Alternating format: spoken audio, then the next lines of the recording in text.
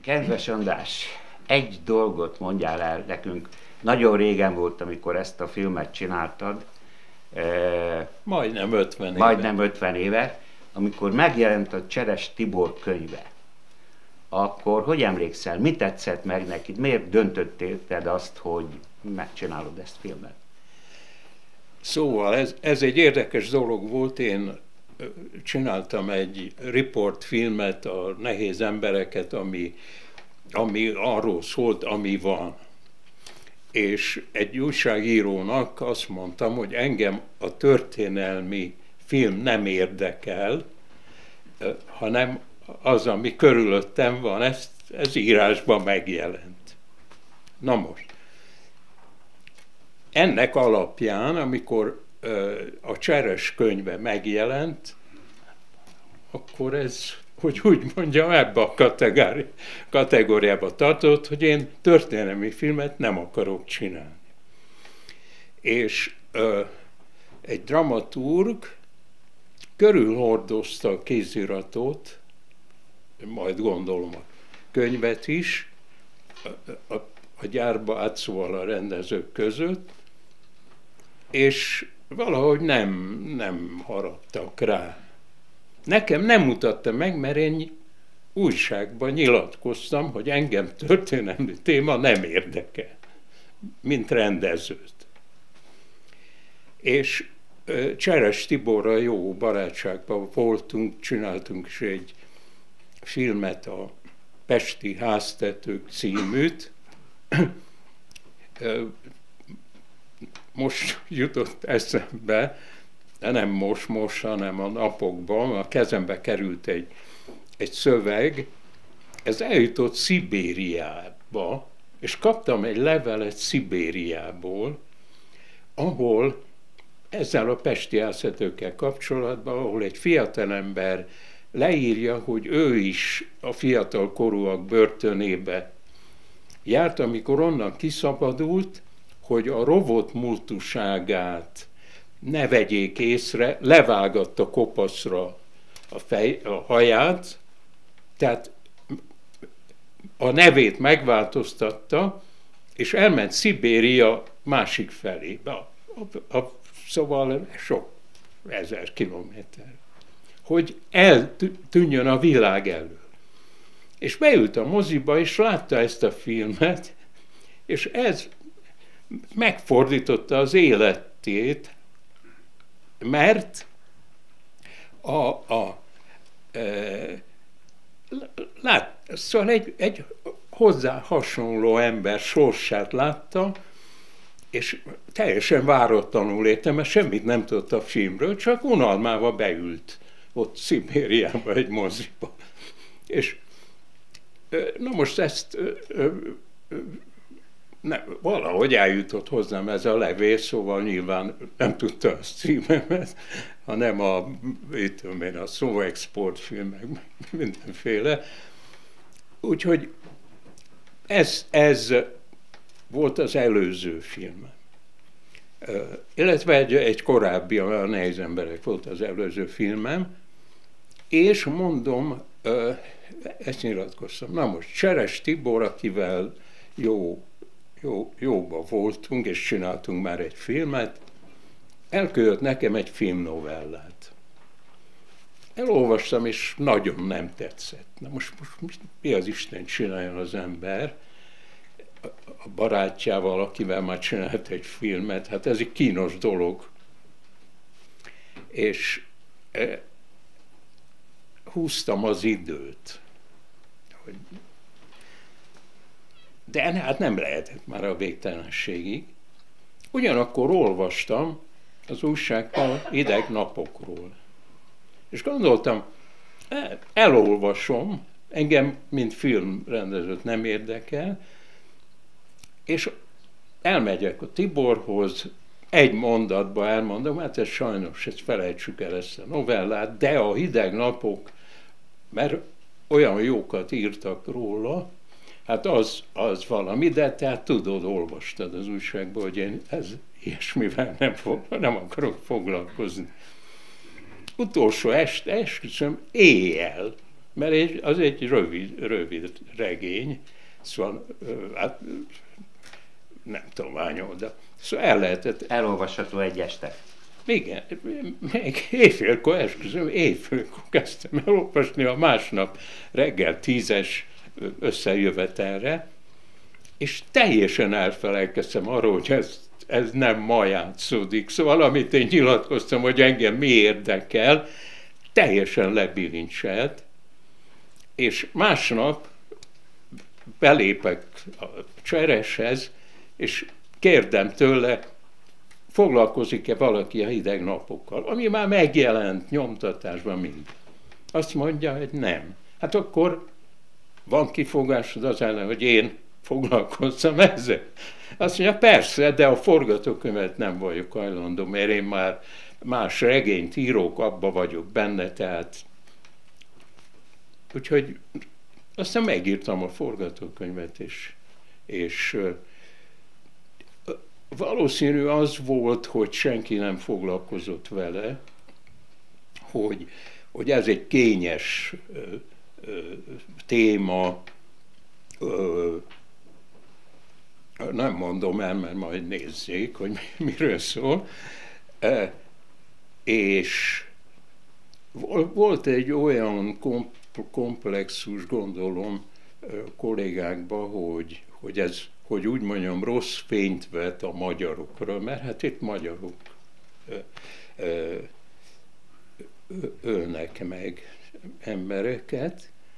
Aztán később tudtam meg, hogy ez a Bácskában, Újvidék környékén játszódik, hogy a volt Jugoszláviában százszor ennyi embert öltek meg, szerbek, horvátokat, horvátok, szerbek, aztán macedónokat, meg mit tudom én, ami ott létezik, albánokat. Szóval nagy, nagy, nagy gyilkolás folytott a, a, háború alatt, úgyhogy ez tulajdonképpen egy kis epizódja ehhez képest. De természetesen gondolom, akik olvasták és szó, gondolkoztak rajta.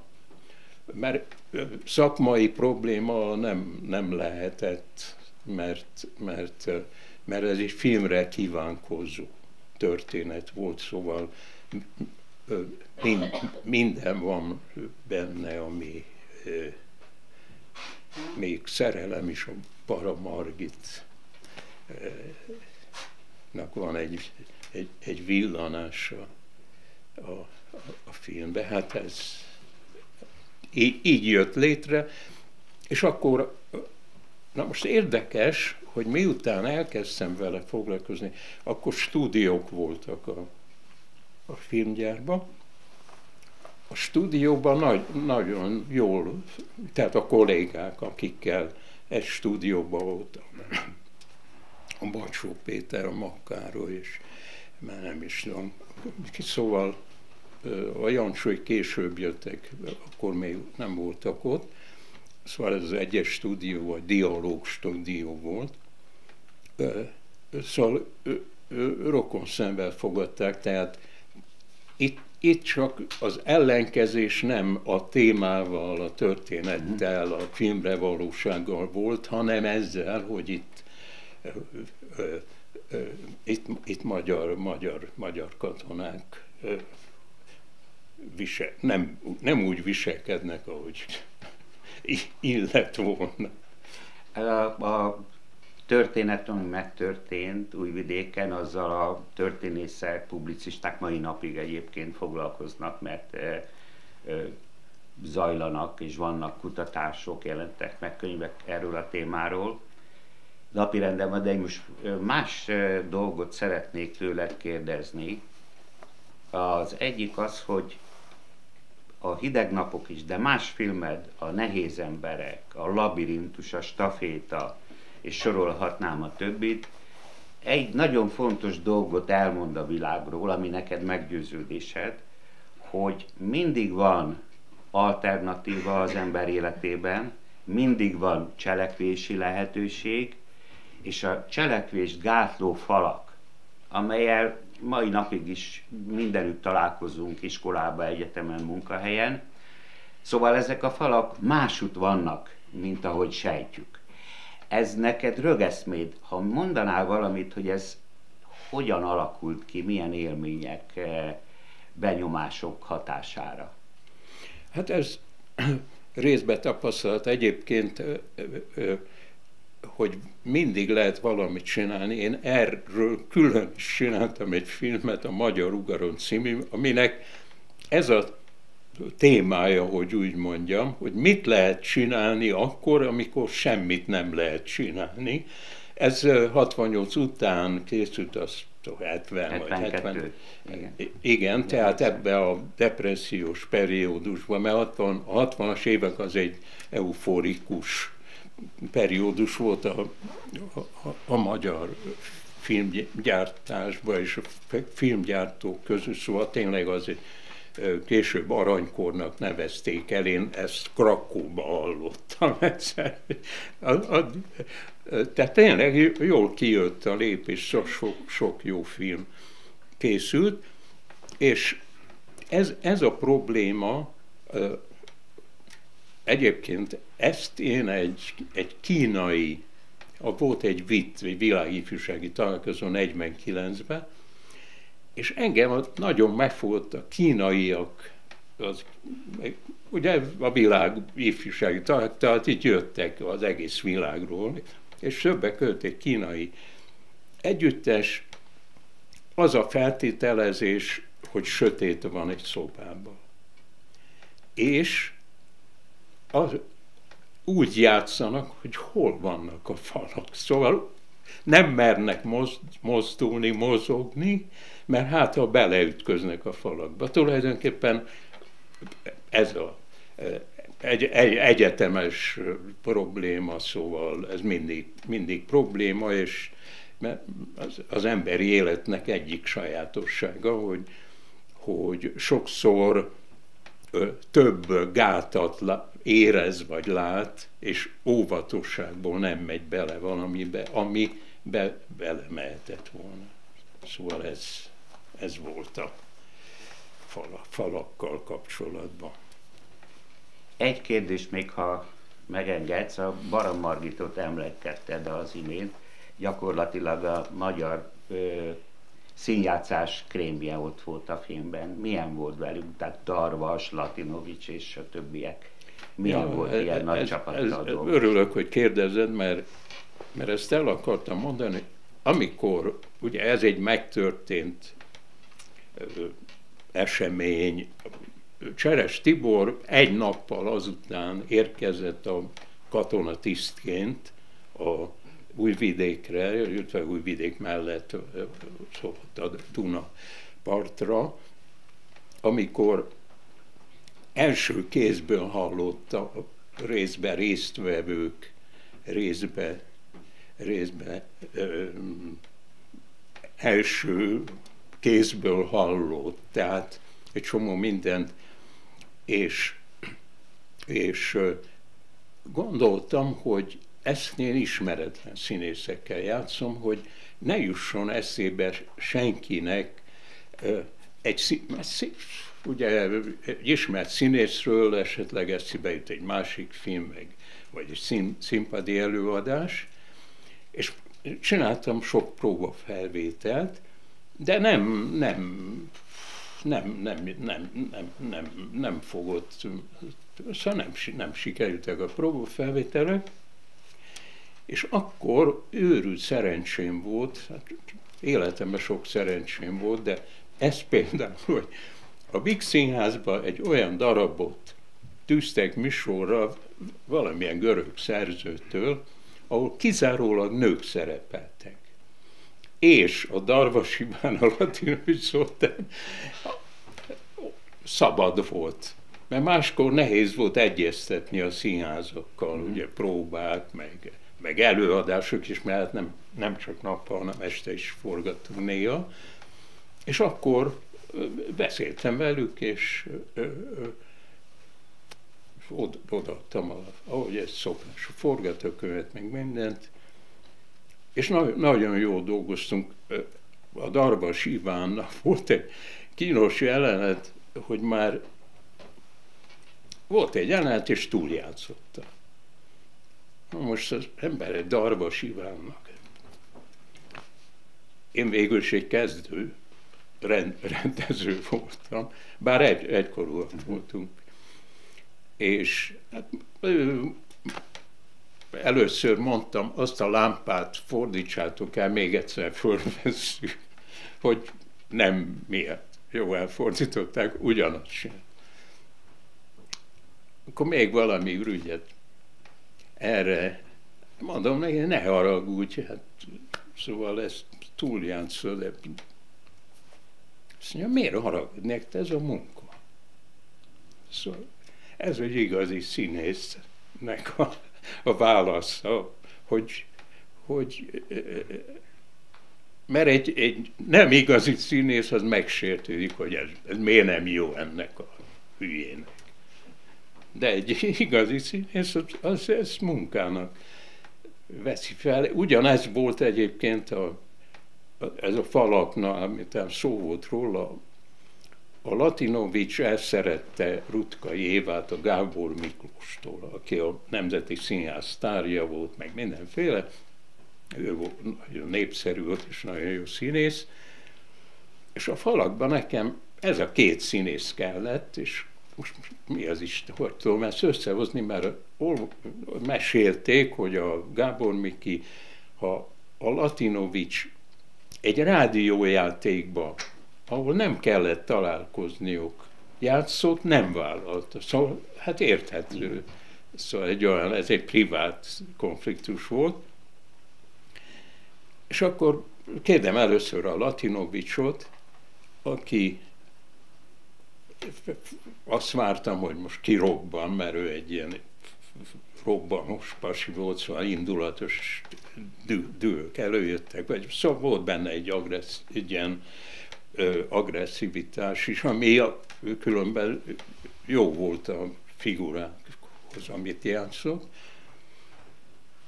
Azt mondja, nagyon higgadtan, hát ez munka, hát aki, aki van a filmben, azzal játszom.